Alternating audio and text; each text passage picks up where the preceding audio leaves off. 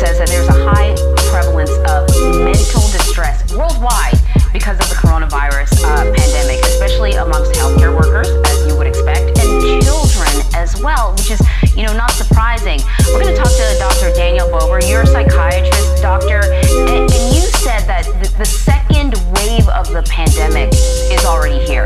And you're not talking about the coronavirus pandemic, you're talking about a mental health pandemic.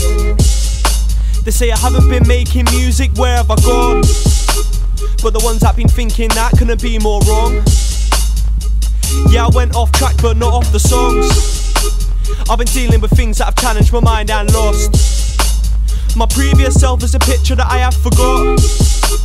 And the person you see right now is who that came from. So now that I'm here, I can now tell them what's been what.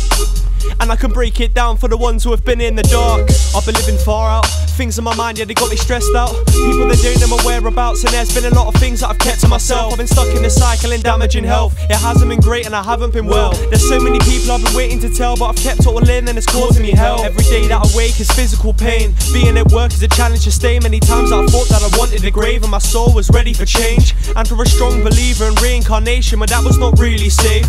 As I look back today, it breaks me to think that your mind can get in that place and people can turn away. And it's to all of them ones I got nothing to say Cause I've always been real, nothing was staged Always had a hard time and nothing will change. I need to move forward and get myself up out the pain. I need to stop seeing this world in different shades of grey. Now I'm not holding back anymore. I've left old friends to themselves, kept to myself Dealt with a few that were making me fall. With the negative behind and picked up the tools. Got by realigned in a world that's cruel. Gathered what was left on my mind and walked. That's why this song is called The Return. Words to describe a journey of hurt. Now I can cry cause I've seen the worst what I left behind is now just a blur. But I still hold up the anger inside. And trust me now that I'm here, I won't make that reverse. I'm not gonna take that dive. No, how it was when I lost all life from my eyes. How it was when I couldn't find strength to survive. Uh,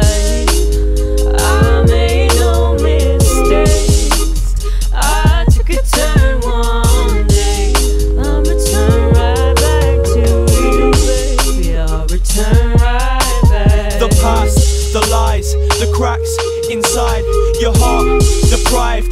You rage, you cry, you kick, you fight. You've lost your mind. Don't give up now, it's not your time. And I took this all from day to day, unable to escape the pain.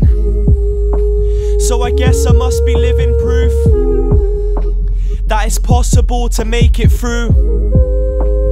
The past has took its toll on me. Its toll. I never spun out uncontrollably. Oh no.